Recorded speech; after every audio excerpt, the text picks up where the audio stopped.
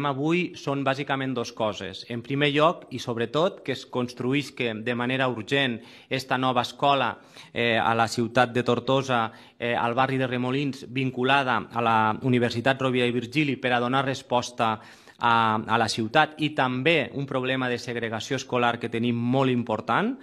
I, en segon lloc, mentre eh, se faci la planificació d'esta nova escola, el que també pensem és que s'ha d'adequar mínimament l'actual edifici que, tal i com ens han fet arribar des del mateix centre, té moltes, eh, moltes qüestions no, per a, per a millorar, des de coses bàsiques no? com la pintura interior de, de l'escola, com eh, rampes d'accés al mateix centre, com el paviment també eh, de, de fora de, de l'entrada de, del centre i altres qüestions no?